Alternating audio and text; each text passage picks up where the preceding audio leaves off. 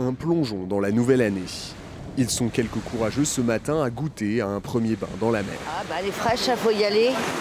faut oser un petit peu, mais bon, ça fait du bien. Bah, elle est plus froide que l'année dernière. Je pense que c'est un bon signe pour, euh, pour cette année qui s'annonce. Certains sont des habitués. Pour cette habitante, c'est même devenu un rituel.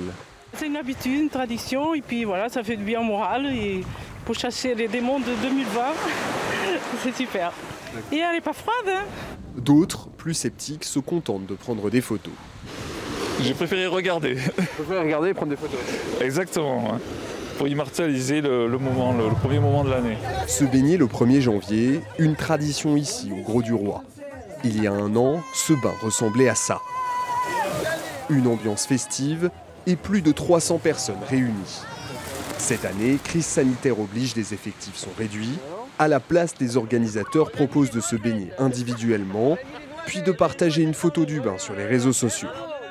Eh ben, ce sont des, baigneurs euh, euh, qui chaque jour voilà, nous envoient leurs selfies.